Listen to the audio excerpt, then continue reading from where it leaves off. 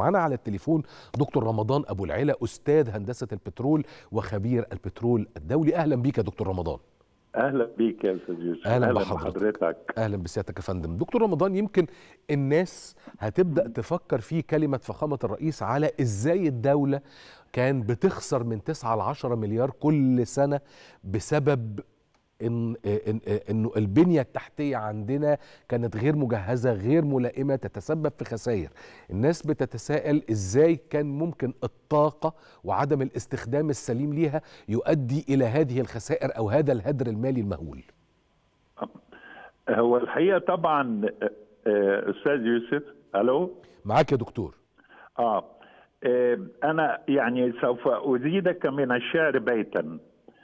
آه مصر عندما تنظم فعاليات دولية بتؤكد من خلالها من خلال الفعاليات والمحاور أنها تنظمها في شكل استكمال لأهداف محددة. فعلى سبيل المثال في لما نظمنا المؤتمر العالمي للمناخ كوب 27 آه عملنا منصة خاصة لصناعة البترول والغاز على مائدة قمة المناخ وخصصنا يوم لمناقشة خفض الكربون والضرورة الملحة في التحول للطاقة النظيفة. ومصر ملتزمة جدا بهذا الخصوص. وأنا عشان أثبت أن هناك استراتيجية واضحة وتكامل في الفعاليات اللي بتنظمها مصر إحنا غيرنا مؤتمر ومعرض مصر الدولي للبترول إلى مؤتمر ومعرض مصر الدولي للطاقة. ليه؟ لأنه احتياجات العالم من الطاقة لن تقتصر على الوقود الأحفوري بل يجب الب... لأنه ثروات نضبه هناك توجيه عالمي للاتجاه نحو الطاقة النظيفة والطاقة المتجددة. دي بتستوجب توفير استثمارات ضخمة جدا. أيضا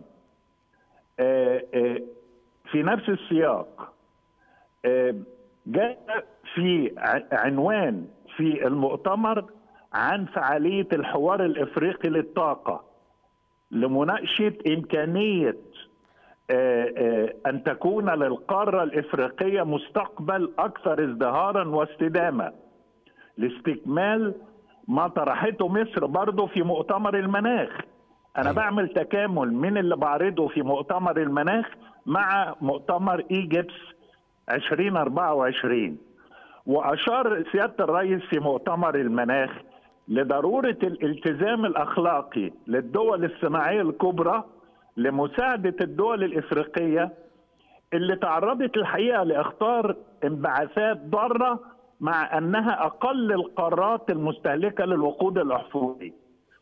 وعشان كده برضو نظمنا ملتقى تحدي تكنولوجيا المناخ ليكون منصة عالمية للشركات لعرض حلولها لخفض الكربون.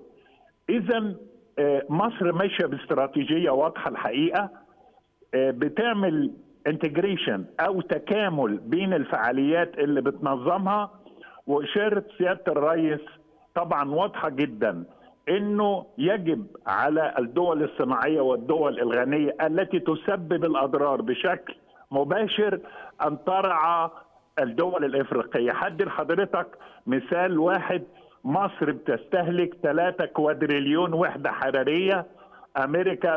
لوحدها بتستهلك 100 كوادريليون وحدة حرارية بريطانية.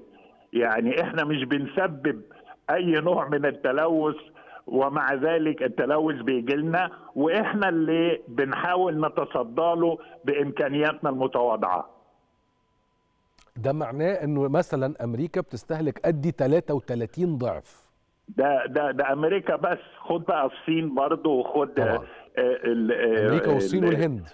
والهند طبعا أكثر الدول المس... أوروبا طبعا بتستهلك كميات كبيرة جدا أنا أعطيت بس مثال صارخ قد إيه مصر بتسبب أضرار بسيطة ومع ذلك هي ملتزمة جدا المحافظه على المناخ.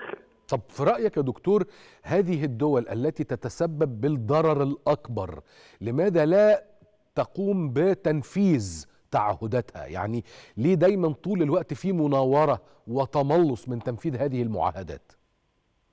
ال ال ال ده, ده كلام حضرتك مهم جدا.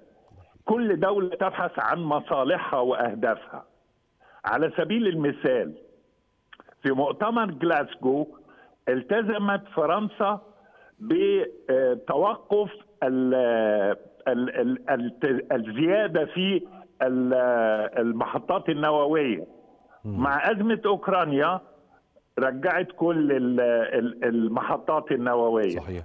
ألمانيا كانت توقفت عن استخدام الفحم الحجري لأنه أكبر المشتقات البترولية تسببا في الانبعاثات الضارة. بعد الحرب الروسية الأوكرانية رجعت ألمانيا تستخدم الفحم الحجري مرة أخرى. اذا الدول بتبحث عن مصلحتها بأي وسيلة وبأي شكل دون النظر وعشان كده يعني أشرت إن ده التزام أخلاقي ونادرا ما تستجيب الدول لهذه الالتزامات الأخلاقية وإحنا شايفين إيه اللي بيحصل دلوقتي في غزة وما فيش أي التزام أخلاقي. للأسف الشديد. أنا بشكرك جدا دكتور رمضان أبو العلا أستاذ هندسة البترول وخبير البترول الدولي.